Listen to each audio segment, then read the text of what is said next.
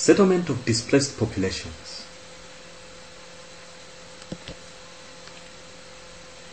A refugee is a person who, for fear of persecution, is outside the country of national origin and is unwilling or unable to return home.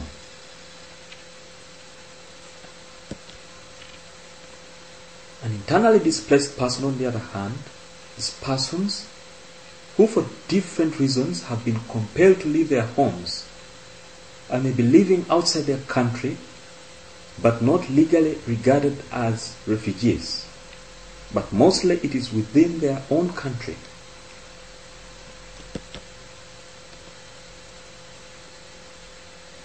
Settlement should be a last choice because they have disadvantages. They usually long term, associated with health problems, security issues and logistics issues, and often political problems, and may impact on the local community. Other options could be shelter in a place or, on site, shelter with friends, hotels or other available buildings like schools,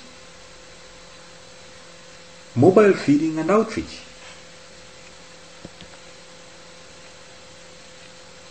Site selection issues are important in settlement of displaced persons. A number of factors affect this ownership and rental, insurance, access, environmental issues, cross cultural issues, and security. Criteria for selection of settlement areas include water availability, topography, surface area, security and protection, accessibility, environmental factors, soil conditions, and social cultural factors. Camp management is very important. It's like running a small city. It involves administration, site planning, reception and screening systems of incoming people, distribution and logistics systems, administration systems, and staffing.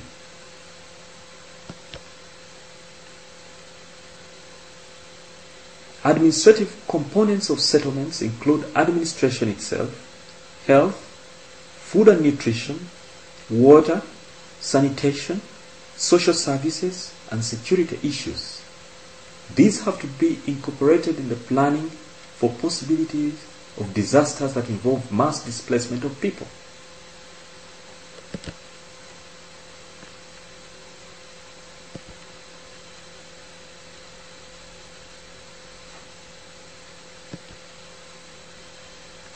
Administration involves coordination and internal functions, external coordination, media, staffing and personnel, and security.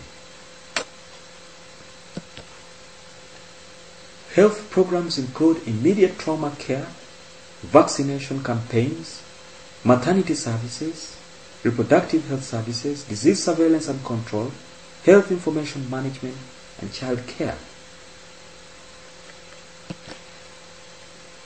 Water programs include water treatment, water distribution, water systems, including repair, installation, and promotion, sanitation programs include latrine installation and promotion, solid waste cleanup, drainage and standing water, and vector control. Shelter operations include temporary shelters, rehabilitation of damaged shelters, home water supply, kitchen supplies, clothing and blankets, and soap.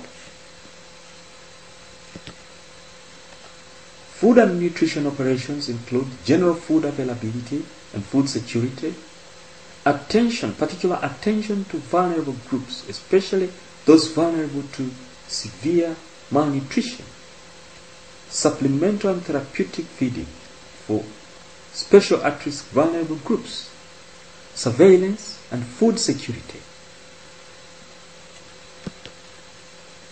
Logistics operations include warehousing, supply, supply chain management, and transportation. Social services include education, trauma counseling, child care, and support services, especially for orphans and vulnerable children, religious support, and sports and recreation. Security issues include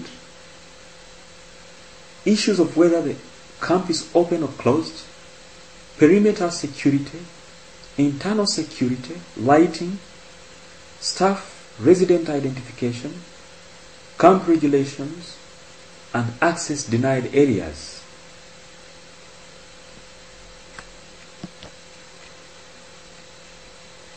These are common site and shelter problems.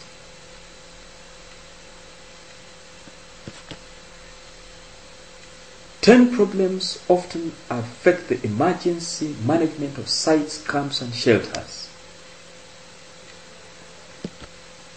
1. No resources for site and shelter management. 2. Conflicts about location, priorities, and design.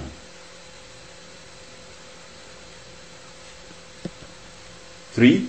Exposure to elements while waiting for materials, including rain, sunshine, wind, dust.